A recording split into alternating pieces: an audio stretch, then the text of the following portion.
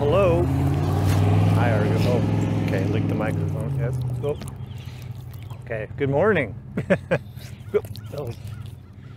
He's ready to lick. You make it hard to talk when you keep licking me in, in the face. anyway, good morning from Sault Ste. Marie, Michigan. Argo, sit. I'm trying to get him in the shot because he's the famous one. Right, dog? anyway, today is Sunday, the 14th of April. I'm trying to get his leash unwrapped around his foot. Which means, oh, tomorrow's tax day.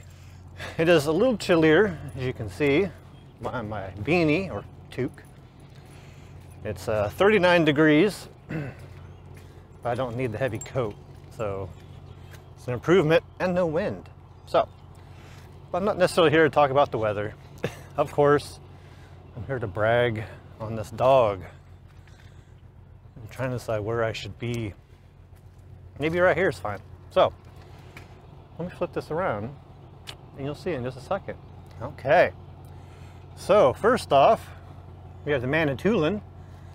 And they're looking like they're getting pretty close to high pool.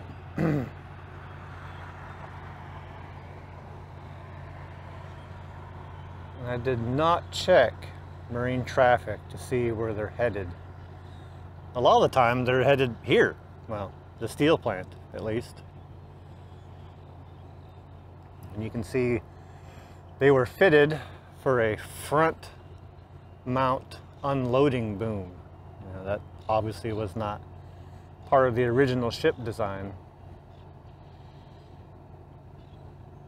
And of course, there are, are benefits to either, you know, the front mount like this or the more traditional rear mount um, as to where they can unload and how they can unload. So I don't know enough to say if one is more ideal than the other. Maybe it just depends on where they plan to unload that ship. So, but yes, there's the Manitoulin. Here we have, I'll do the slow pan. So they're tearing down those, at least I think they're tearing down those old buildings there. I'm unsure about that building, if it'll be staying or not. Again, I do not have any inside information at all.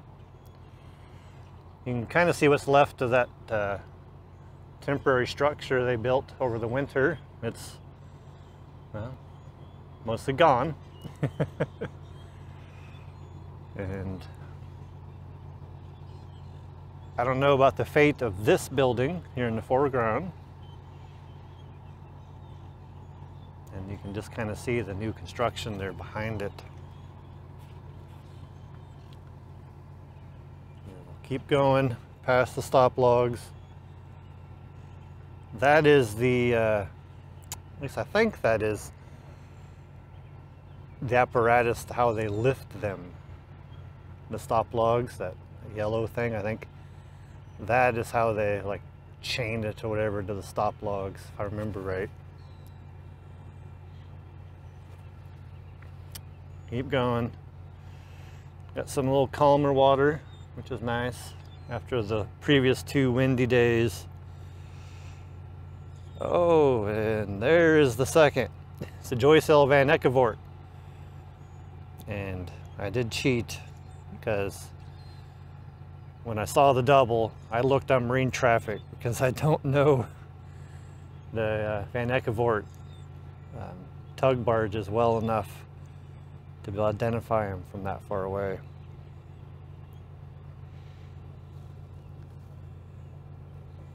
So there we go. There's our there's our double.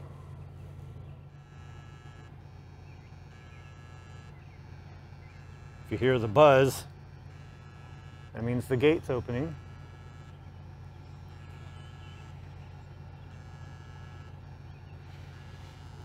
I don't know if I necessarily need to hang out for that. It takes a while for that to open. I've showed it a lot before And longer videos don't tend to do very well. You saw the line go slack there,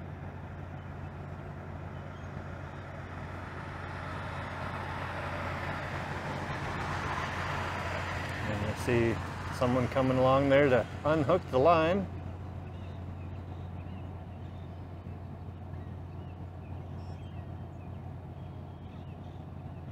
Just like that.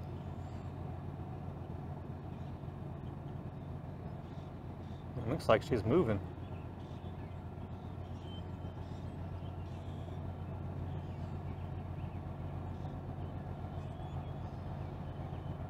Your horn's broken. He's definitely moving though. Maybe they're just being considerate on a weekend. A lot of theories. There we go, there's the Manitoulin as they make their exit from the lock. Spin over here. Oh, my arm's getting caught in the fence. There we go. There is the Joyce L. Van Enkevort waiting for them to pass so they can then occupy that lock. okay. And that's gonna do it. We're gonna be on our way. Look at that good boy. Keeping us safe from the squirrels. You ready to go? Well, let's go then. All right. That's it. We will catch you all later. Have a good day.